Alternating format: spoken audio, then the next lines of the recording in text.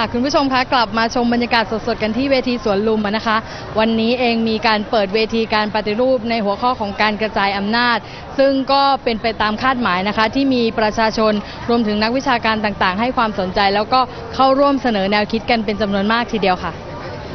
กปปสจัดเวทีระดมความเห็นเพื่อการปฏิรูปประเทศครั้งที่ 3 ภายใต้หัวข้อการกระจายอำนาจสู่จังหวัดปกครองตนเอง ที่อาคารศูนย์เยาวชนสวนลุมพินี โดยวงเสวนาได้มีแกนนำกลุ่มกปปส ตัวแทนนักวิชาการ รวมถึงตัวแทนภาคประชาชนเข้าร่วมเสนอแนวคิดในการปฏิรูป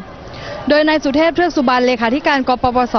กล่าวเปิดเวทีเสวนาโดยระบุว่า เวทีปฏิรูปครั้งนี้เป็นเวทีที่มีความหมาย และมีความสำคัญเพื่อนำไปสู่การพัฒนาประเทศ ซึ่งการกระจายอำนาจสู่ประชาชนยังเป็นปัญหาในสังคม เนื่องจากปัจจุบันสิทธิและความเท่าเทียมของภาคประชาชน ยังไม่มีประสิทธิภาพอย่างทั่วถึง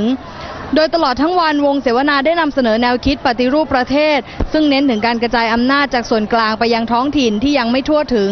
ทั้งในเรื่องงบประมาณ สาธารณสุข พร้อมทั้งเห็นว่าองค์กรปกครองส่วนท้องถิ่น ยังขาดความเป็นอิสระจากรัฐบาล เห็นได้จากภาครัฐพยายามจัดตั้งโครงการให้ท้องถิ่นดำเนินการได้ แต่ไม่ได้จัดสรรงบประมาณทำให้กระทบกับงบประมาณของท้องถิ่น อีกทั้งเสนอให้ยุบรวมองค์กรบริหารส่วนตำบล เข้ากับเทศบาลตำบล เนื่องจากมีการทำงานที่ซ้ำซ้อน และเห็นด้วยที่ให้มีการเลือกตั้งผู้ว่าราชการในทุกจังหวัด ตามแนวคิดของกปปส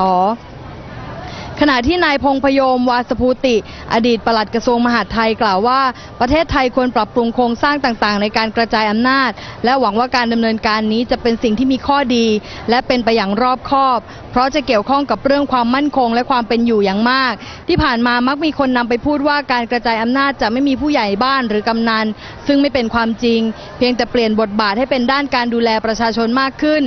อย่างไรก็ตามกปปสจะเปิดเวทีระดมความเห็น เพื่อการปฏิรูปประเทศครั้งที่ 4 ในหัวข้อปรับโครงสร้างตำรวจและกระบวนการยุติธรรมในวันจันทร์ที่ 17 มีนาคมนี้ ตั้งแต่เวลา 10 นาฬิกาถึง 15 นาฬิกา 30 นาทีที่อาคารศูนย์เยาวชนสวนลุมพินี ส่วนความเคลื่อนไหวของแกนนำกปปส วันนี้ นายอิสระสมชัย ได้นำมวลชนเดินทางไปบริเวณหน้าสำนักงานคณะกรรมการป้องกันและปราบปรามการทุจริตแห่งชาติ หรือปปช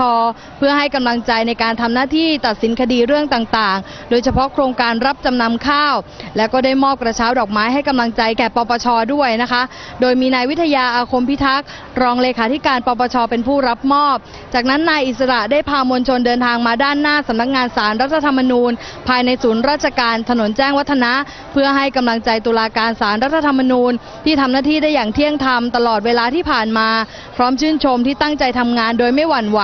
กับความกดดันทางการเมือง โดยเฉพาะการวินิจฉัยเรื่องพระราชบัญญัติเงินกู้ 2 ล้านล้านบาท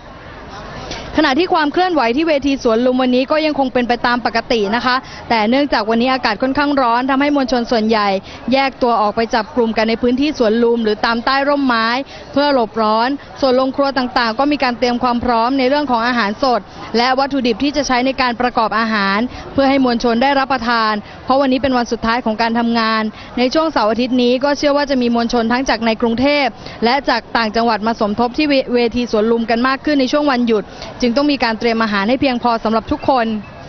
ค่ะคุณผู้ชมคะและนี่ก็คือบรรยากาศสดๆจากสวนลุมพินี ซึ่งบรรยากาศในค่ำคืนนี้ก็น่าจะเป็นอีกวันหนึ่งที่มีความคึกคักมาก เพราะว่าในพรุ่งนี้จะเป็นวันหยุดเสาร์อาทิตย์นะคะ เชื่อว่าจะมีมวลชนทยอยเดินทางมาสมทบ แล้วก็รอฟังลุงกำนันสุเทพบนเวทีกันมากขึ้น ช่วงนี้กลับไปทางสถานีค่ะ